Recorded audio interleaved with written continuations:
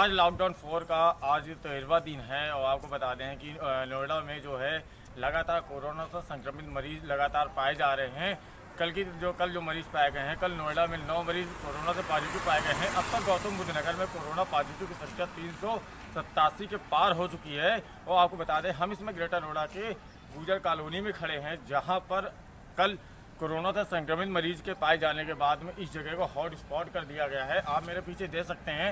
ये दुकानें हैं जो गुजर कॉलोनी के पास बनी हुई हैं, जो हॉट स्पॉट होने के बाद में इन दुकानों को सील कर, इन दुकानों को भी बंद कर दिया गया है। यही जगह है गुजर कॉलोनी की, जहाँ पर पिछले दिनों कोरोना से संक्रमित मरीज़ के पाए जाने के बाद में इसको हॉट स्पॉट कर दिया गया है। तो देखा जाता है साफ़ तौर पर कि जिस तरीके से तो पुलिस प्रशासन है, जो हॉट स्पॉट वाली जगहों पर वरना करते हुए लोगों को लगातार ड्यूटी लगा के लोगों का आवागमन बिल्कुल रोक दिया गया है। ग्रेटर नोएडा से सतीश कुमार के न्यूज़